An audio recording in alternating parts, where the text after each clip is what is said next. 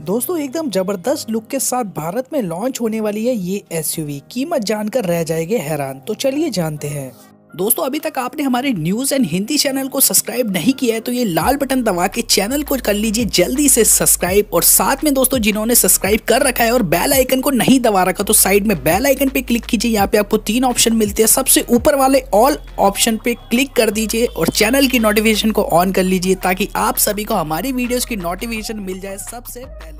दोस्तों, भारत के कार बाज़ार में जल्दी एक नई कंपनी एंट्री लेने वाली है, जिसका नाम दोस्तों सीट्रॉस है। भारत में ये company Citroen C five aircross S को लॉन्च करने वाली है। इस एस को हाल ही में दोस्तों टेस्टिंग के दौरान भारतीय बाज़ार में देखा गया है। और दोस्तों, सबसे अच्छी बात यह है कि ये एस पहले से ही अंतर्राष्ट्रीय बाज़ार में उपलब्ध है। दोस्तों, अब कंपनी इस एस को साल 2020 जनवरी में ऑटो एक्सपो के दौरान पेश करने वाली है। इस एस को खास तौर पर इसके आकर्षक लुक की वजह से जाना जाता है।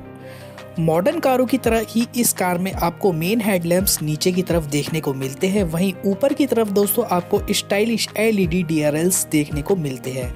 अंतर्राष्ट्रीय बाज़ार में ये एसयूवी दोस्तों 1.5 लीटर और 2 लीटर डीजल इंजन के साथ और 1.2 लीटर पेट्रोल इंजन के ऑप्शन के साथ उपलब्ध है। 1.5 लीटर वाला डीजल इंजन दोस्तों आपको 128 bhp की पावर और 2 लीटर वाला डीजल इंजन आपको 178 bhp की पावर और 1.2 लीटर वाला पेट्रोल इंजन आपको 128 bhp की पावर प्रदान कर पाने में सक्षम है।